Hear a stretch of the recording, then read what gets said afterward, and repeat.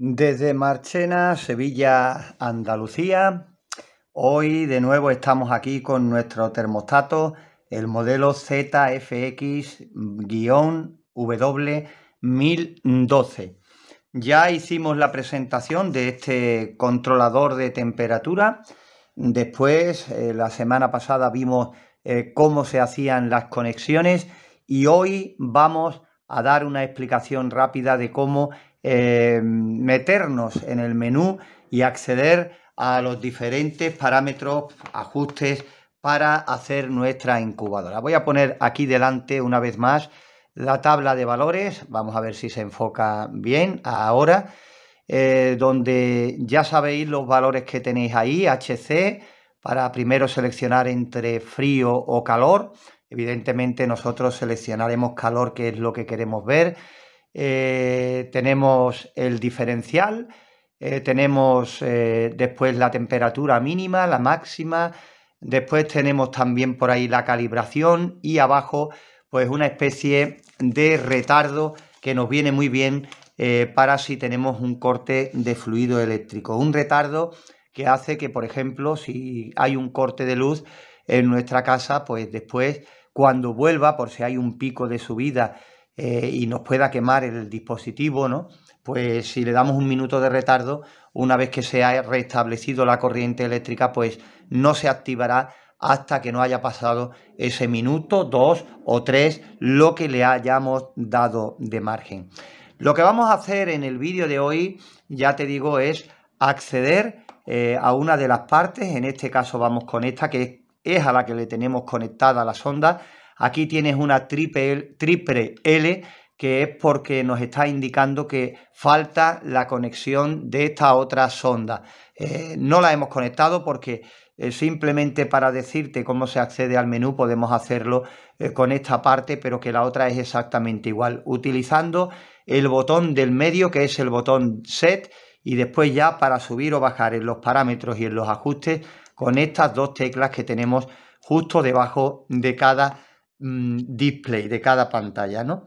Vamos a intentar hacerlo lo más fácil posible por si algún día te da por utilizar este dispositivo a la hora de hacer tu incubadora o, ¿por qué no?, una criadora, una nacedora, cualquier cosa eh, en la cual necesitemos tener controlada la temperatura. Igualmente, por si tienes reptiles, eh, también hay infinidad de aplicaciones en la cría de estos animales en las cuales podemos darle salida a este dispositivo. Pero lo que sí quiero dejarte claro, después de, después de experimentar con él y, estar echando bastante tiempo, porque eh, ahora hacemos el vídeo, puede durar 10 minutos, un cuarto de hora, a lo mejor menos, eh, y ya está, pero detrás, mientras nosotros hemos estado probando y experimentando con este pequeño controlador, doble controlador de temperatura. Y si es tu caso, de que no tienes muchos conocimientos en esto de la electrónica, electricidad, o no eres humanita, pues yo creo que hay otros modelos mucho más fáciles eh, que no este en concreto, ¿vale? Eh, te lo digo para que no te lleves una sorpresa si por cualquier motivo te, te, metes en él y ahora te da problemas a la hora de configurarlo y demás. No es que sea dificilísimo, pero sí es conveniente tener eh, algunos conocimientos previos, ¿vale? Dicho eso, eh, vamos a acceder al menú y vamos a ir viendo uno por uno eh, los parámetros que, que, tendremos que ajustar si queremos utilizarlo, en nuestro caso, con una incubadora casera. Vamos a intentar hacerlo fácil, vamos a ver qué sale en el vídeo. Plano un poquito más cerquita y ya os digo que aquí la triple L indica que no tenemos la sonda conectada en esta parte del dispositivo y aquí en esta que es la que vamos a ver 25,8 es tal cual la temperatura ambiente que tenemos ahora mismo en Marchena. Dicho esto, pues vamos a tomar primero contacto con el botón central Set. Si dejamos pulsado un instante, te aparece 38, que es la temperatura máxima a la que vamos a dejar programado el dispositivo tú a la que tú quieras. Nosotros solemos incubar de 37 a 38 grados y si el termostato es decimal, pues normalmente de 37,5 a 38, ¿no? Eso es dándole un toque simple, fijaros. Un toque simple, ahí tienes el pitido y veis, y parpadea. Ya tocando estas dos teclas podemos subirlo o bajarlo. Nosotros queremos acceder al menú, lo dejamos pulsado más tiempo. ¿Veis? Ahí tenemos HC. Si damos para arriba o para abajo, P7, calibración, H5 o HS, eh, que es la temperatura máxima, LS o L5, que es la temperatura mínima, el diferencial y otra vez HC, que es para elegir entre frío o calor, heat o cool, o cooling, ¿vale? A partir de ahí, ¿nos ha quedado claro ya cómo accedemos a los parámetros? Pues vamos a ver cómo nos metemos en cada uno de ellos. Dejamos pulsada la tecla de en medio, la tecla Set, ahí está HC, ¿vale? Si quitamos y le damos un toquecito, ya estamos dentro. Cooling, a esta B, H o C, frío o calor. Cuando hayamos decidido dejarla en calor, por ejemplo, o en cooling, bueno, sería heating, calor, ahí H, le damos otra vez y ya estaría ajustada. ¿Veis? Si dejamos de pulsar, automáticamente vuelve a la temperatura ambiente, ¿vale? Hemos seleccionado pues calor, ¿no? Si dejamos pulsado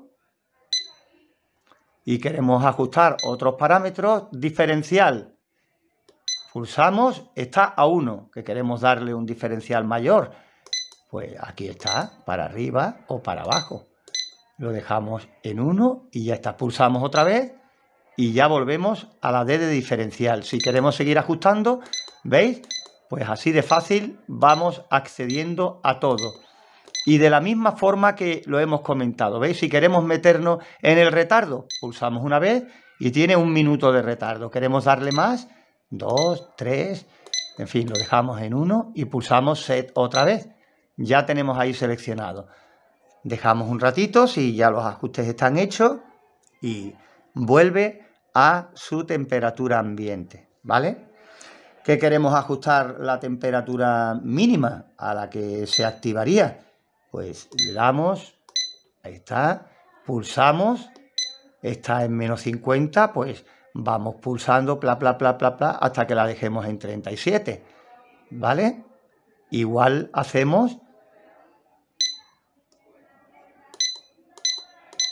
con H5 pulsamos una vez y está en 110, pues vamos tocando hacia arriba o hacia abajo hasta que la dejemos en la temperatura máxima que queramos eh, elegir.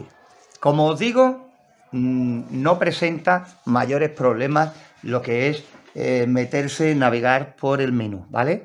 Lo que sí te digo es que es conveniente, después de hacer diferentes pruebas y demás, es conectar todo el dispositivo, todo el cableado y después ya acceder a las funciones. Nosotros hemos explicado esta parte con estos dos botones para arriba y para abajo con la tecla de medio set.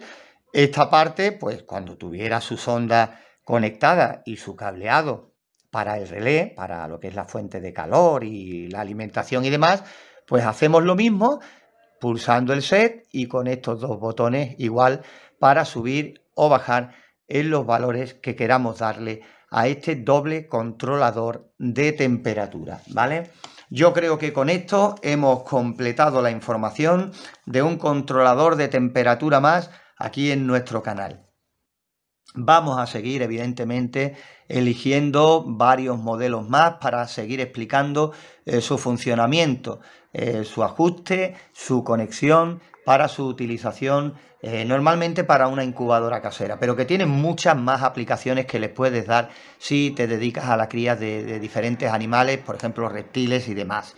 Este, el ZFX-W1012. Lo vuelvo a repetir otra vez.